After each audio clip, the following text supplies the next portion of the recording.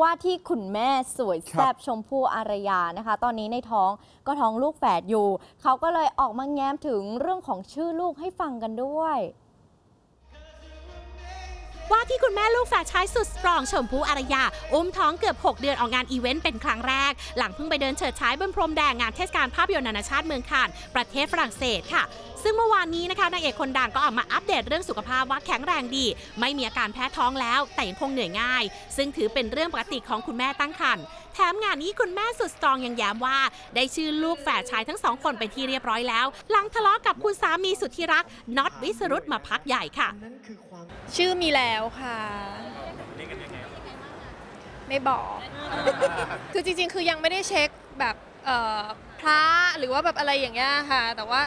คือความหมายมันมีความหมายในตัวอยู่แล้วอะไรเงี้ยแล้วก็คือเป็นชื่อที่คือที่สำคัญที่สุดก็คือเป็นชื่อที่ทั้ง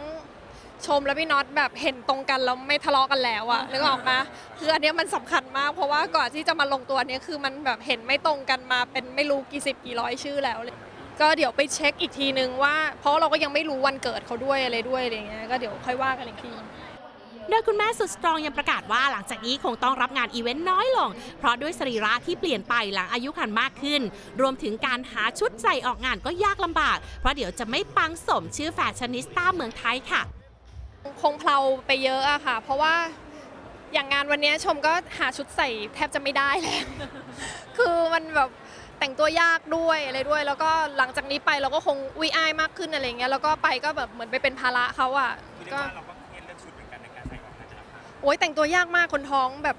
หาชุดยากมากจริง ๆ แล้วก็บางที